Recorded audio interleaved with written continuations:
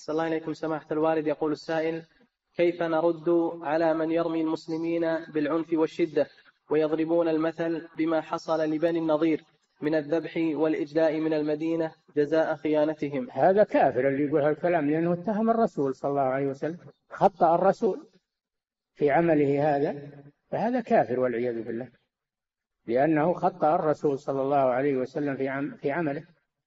والله جل وعلا هو الذي أمر رسوله بذلك. ما قطعتم من لينة أو تركتموها قائمة على أصولها فبإذن الله وليخزي الفاسقين. فهذا في الحقيقة مكذب لله ولرسوله. ويخطئ الرسول فهو كافر بلا شك. نعم.